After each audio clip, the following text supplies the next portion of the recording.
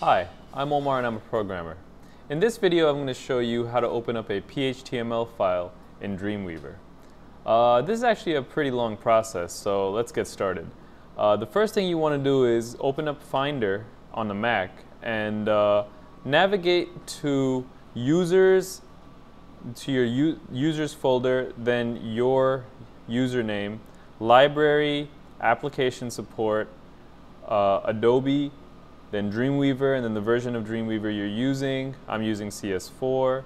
Then the locale that you're using it in, I'm using it in English, US, configuration folder, and in that folder there's a file called extensions.txt.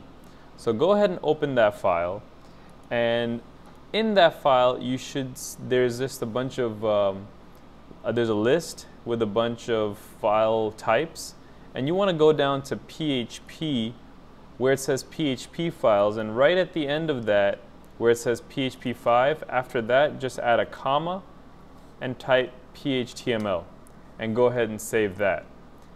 The next file you want to edit is uh, located in the applications folder in your Macintosh hard drive, then Adobe Dreamweaver and your version, then configuration, and another extension.txt.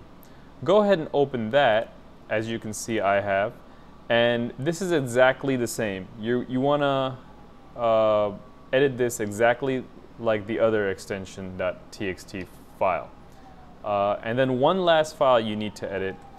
Uh, that is going to be located in application folder, Adobe Dreamweaver, uh, configuration, and then in another folder in configuration called document types, and the file is called mmdocumenttypes.xml. It's an XML file, and what you want to do is go to look for where it says PHP.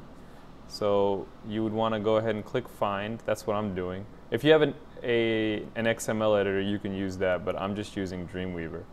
Uh, so go ahead and find where it says PHP MySQL and um, under the PHP MySQL tab it should say Win file extensions and Mac file extensions. Go ahead and change both of them and after PHP 5 uh, press comma and add PHTML. So PHTML here and another comma after PHP 5 and PHTML here and go ahead and save that. And once you do that, it should be, uh, your Dreamweaver should be able to open up PHTML files. I'm Omar, and I hope you enjoyed my video. Have a good day.